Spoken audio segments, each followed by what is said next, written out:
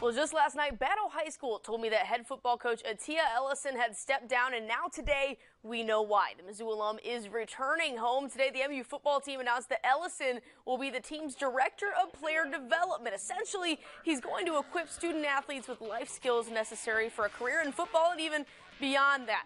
Ellison was the Spartans head coach for two seasons, leading them to back-to-back district championship appearances and even one district title. And Battle High School has actually already posted this job on the district website. I spoke with one member of the athletic department last night, and he says they're going to move very quickly in terms of starting the interview process. The Spartans are set to open up the season on August 27th against Fort Zumwalt North. That is just 42 days away.